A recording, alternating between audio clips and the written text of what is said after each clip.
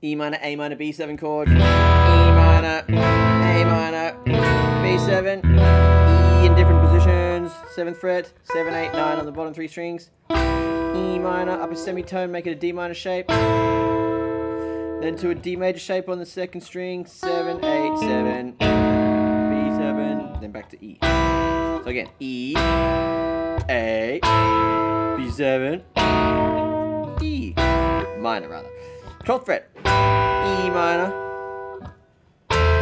A minor, 12, 13, 14, and then a D minor shape on the second, from the second string, so 12, 14, 13, back to E. So again, E minor, A minor, B7, E. Cool thing about this one, with all of them, sorry, you put the, sorry, I put the blue scale.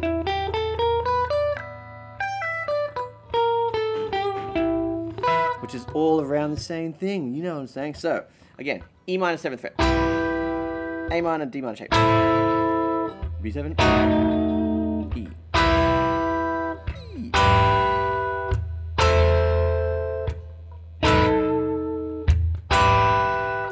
With drums.